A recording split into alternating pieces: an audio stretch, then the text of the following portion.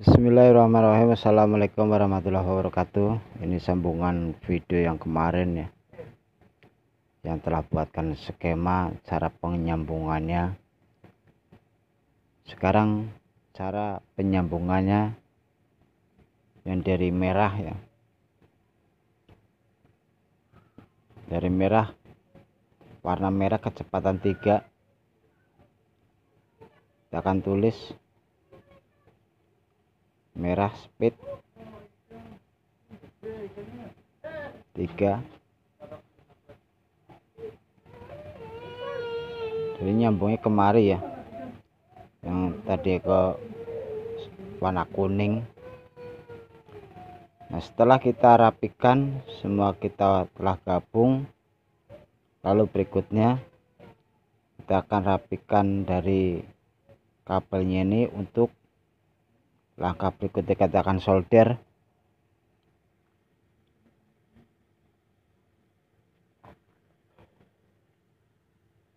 Ini adalah setrum kapasitor. Kecepatan nomor 2 hitam nomor 1 dan ini adalah kapasitor warna biru.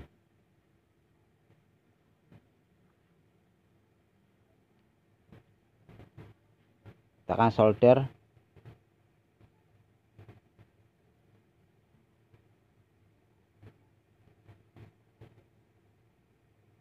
biasanya saya jarang sekali nyolder ya karena soldernya susah sekali untuk manasin, timah. Alhamdulillah kemarin udah saya ganti menggunakan pipa tembaga ternyata panasnya cepat sekali ya. Mungkin buat teman-teman yang mau silahkan dipraktekkan videonya udah saya buat. Ini sangat bagus sekali. Jadi kita ngecolokin dari pertama cuman berapa? Ya satu menit lah. Udah langsung panas cepet banget. Jadi melelehnya juga maksimal panasnya. Kita akan kerok dulu nih kurang bersih keroknya tembaganya jadi tidak langsung nempel. Jadi lilitan tembaga itu harus dikerok semua ya. Kulit-kulitnya itu supaya benar-benar nempel ini kita akan ukur dari awal dan akhirnya dinamo.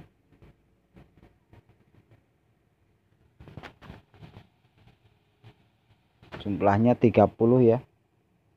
Sangat baik sekali. Walaupun kita udah buang untuk satu kutub dari stromnya ini juga sangat bagus sekali ya. Dari jumlahnya 20 20 kurang 18 ya. Paling diukur 20 kurang sedikit. Ini lanjutan video kemarin ya. Jadi kemarin memang membuat video tidak sampai selesai karena ada yang harus dikerjakan. Jadi ini ditinggal. Makanya saya lanjutkan sekarang. Yang kedua merek Mas Pion kipas angin Mas Pion kotak. Kemarin dinamonya ada yang putus konslet. Yang jalur utama atau jalur setrumnya kita solder menjadikan satu. Untuk jalur kapasitor juga konslet juga tapi saya tidak gunakan satu kutub ya karena sangat berisiko sekali. Nah, ini yang paling penting kita pahami.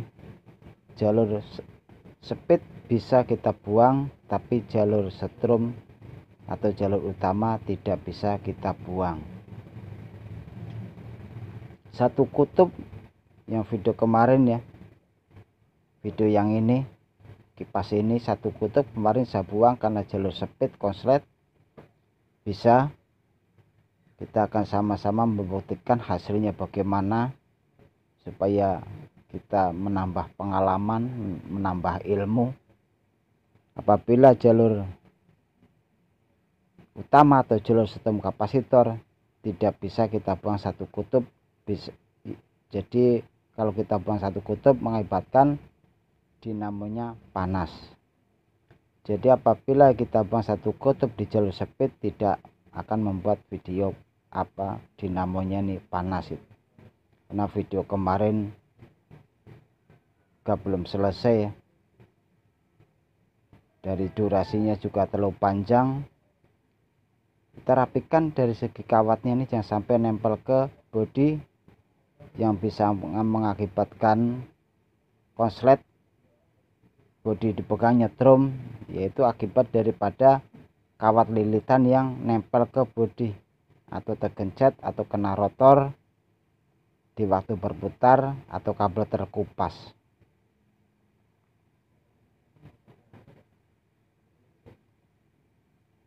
Lalu kita akan menggunakan baut untuk dua sisi kanan dan kiri aja untuk mengetesnya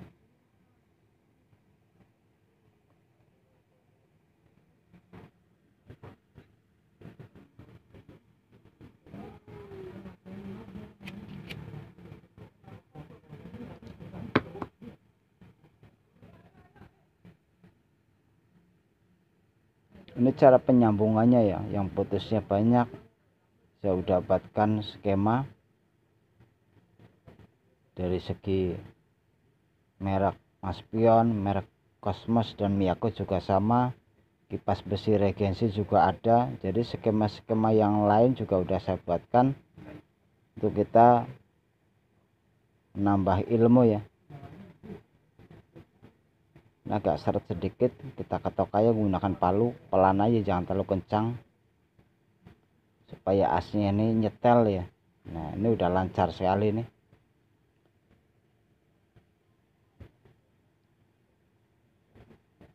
Nah setelah kita buat lalu kita akan pasang menggunakan kapasitor. Ini berapa mik kapasitornya? 1,5 lalu nanti kita akan tes menggunakan listrik juga kita akan tes menggunakan baling-baling.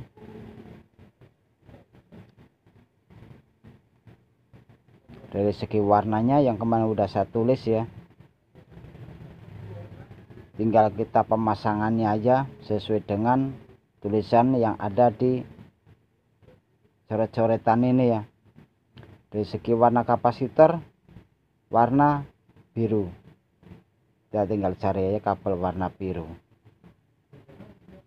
berikutnya kapasitor satu lagi yang gabung ke setrum. Warna oranye dan warna putih. Ada dua kabel menjadikan satu. Ya ini nih putih dan oranye. Kita ambil oranye aja untuk jalur kapasitor. Karena yang putih nanti akan jadikan jalur setrum atau jalur PLN ini sama nih. Dua kabel jadikan satu lalu berikutnya yang putih ini menjadikan jalur ke PLN atau jalur listrik sesuai dengan tulisan coret-coretan kemarin yang saya buat ya. Kita tulis supaya jelas jalur PLN dari segi warna putih warna oranye sama aja kita akan tes menggunakan listrik jangan sampai beradu. Kita harus amankan dulu nih terutama dari segi setrumnya ini takut konslet kena tangan atau nempel ke kabel lain ini sangat berisiko sekali. Harus hati-hati.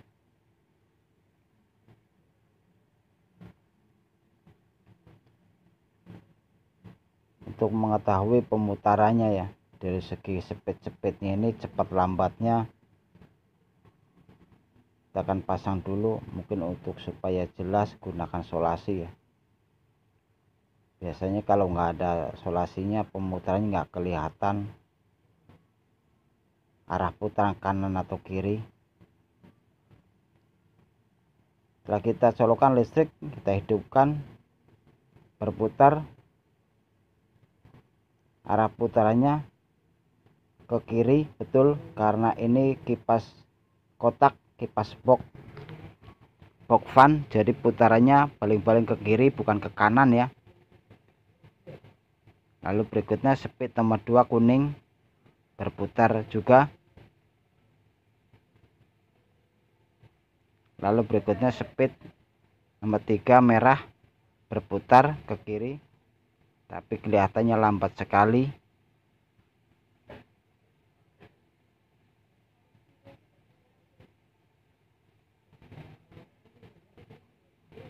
Kelihatannya ya dari kamera kelihatan lambat cuma tenaganya ada nih. Tenaganya termaksudnya bagus. Putarannya lambat. Kita rapikan solusinya juga masih kelihatan lambat ya. Untuk mengujinya kita akan menggunakan baling-baling ya supaya kita bisa melihat hasilnya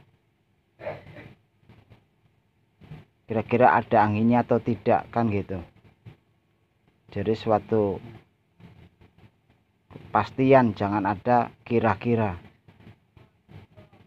Kita akan pasang baling-baling. Kita akan cabut dulu.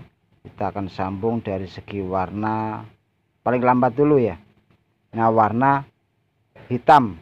Paling lambat jepit nomor satu warna hitam sesuai dengan gambar. Kita akan tes. Hidup. Anginnya lumayan putaran juga kencang ya. Terasa. Tidak sia-sia ya. Kita memperbaiki kipas angin. Tidak sia-sia hasilnya. Lumayan. Anginnya juga kencang. Lalu speed nomor 2 kita akan tes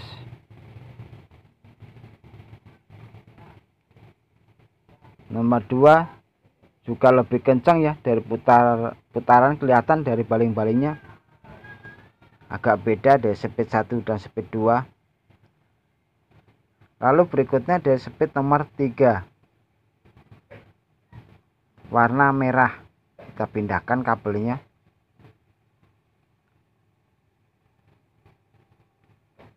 Nomor 3 sangat kencang sekali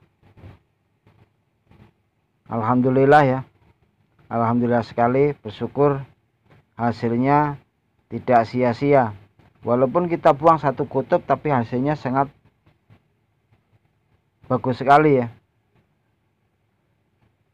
Alhamdulillah.